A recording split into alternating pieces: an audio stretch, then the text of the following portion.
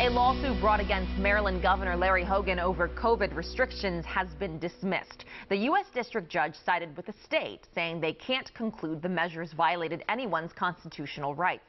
The lawsuit was filed in May.